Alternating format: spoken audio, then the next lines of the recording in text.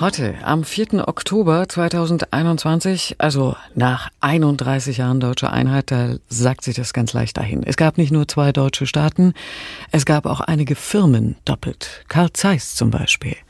Neben dem VEB Karl Zeiss Jena existierte in Oberkochen ein zweites Unternehmen, das den Namen beanspruchte. Heute, vor 75 Jahren, wurde es gegründet. Zeiss Oberkochen, ein Stichtag von Hartmut Schade. Die Amerikaner lassen keinen Zweifel. This is a comment. Das ist ein Befehl. Wir werden sie mitnehmen, auch wenn wir sie im Nachthemd auf die Lastwagen laden müssen. Mitte April marschieren die Amerikaner in Jena ein, in ihrem Schlepptau Experten, die bestens über Zeiss Bescheid wissen.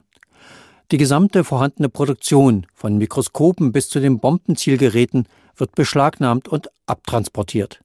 Ursprüngliche Pläne, Zeiss komplett zu demontieren, Maschinen und Mitarbeiter in den Westen zu bringen, scheitern an fehlenden Güterzügen. Die Amerikaner ändern ihre Strategie. We take the brain. Der Kopf, das sind 80 Entwickler, Techniker und Konstrukteure von Zeiss und 41 vom Glaswerk Schott. Sie reisen am 18. Juli 1945 in ein Kaff namens Heidenheim an der Brenz. Dort sitzen sie ein Jahr untätig herum, bis ihnen die Gründung einer feinmechanisch-optischen Fabrik erlaubt wird. Im nahegelegenen Oberkochen finden Sie eine leerstehende Flugzeugfabrik. Wir mussten uns Mühe geben, aus unserem Gedächtnis nun zu rekonstruieren, denn wir bauen ja hier vorzugsweise Geräte, in denen viel wissenschaftliche Erfahrung verankert ist und die der Anwendung in der Wissenschaft und in der Forschung dienen. Erinnert sich ein Zeissianer in einer SWR-Sendung von 1954. Am 4. Oktober 1946 gründen die Ex-Jena die Opton Optische Werke Oberkochen GmbH. Zeitgleich beginnen in Jena die Demontagearbeiten. Fast alle Maschinen der Zeiss-Werke werden als Reparation abgebaut und 336 Spezialisten zur Arbeit in die Sowjetunion befohlen.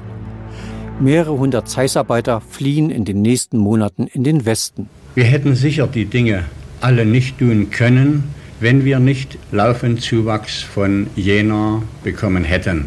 Trotz Demontage und Flucht arbeiten die Zeiss-Werke in Jena weiter und man hält am legendären Qualitätsanspruch fest, auch als im Mai 1948 die Karl-Zeiss-Stiftung als Eigentümer der Werke enteignet wird. Und dann war es für uns alle klar, jetzt müssen wir dafür sorgen, dass die Karl-Zeiss-Stiftung mit ihren Werken nicht untergeht.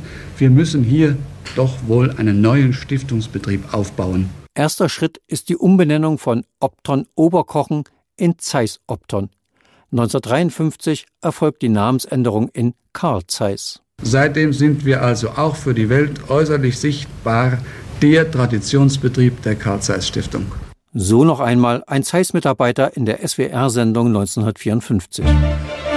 Allerdings hat Ernst Abbe in der Stiftungsurkunde für alle Zeiten festgeschrieben, dass die Zeiss-Werke in Jena ihren Sitz haben müssen. Oberkochen dürfe also gar nicht den Namen Karl Zeiss führen, argumentiert man in Jena. Die Oberkochener halten dagegen, Zweck der Stiftung ist der Betrieb der Werke. Die aber sind verstaatlicht, gehören also nicht mehr der Karl Zeiss Stiftung. Um Ernst Appes Willen zu erfüllen, habe man die Fabriken verlegen müssen. In der Folge prozessieren Zeiss Jena und Zeiss Oberkochen in mehr als 60 Staaten gegeneinander.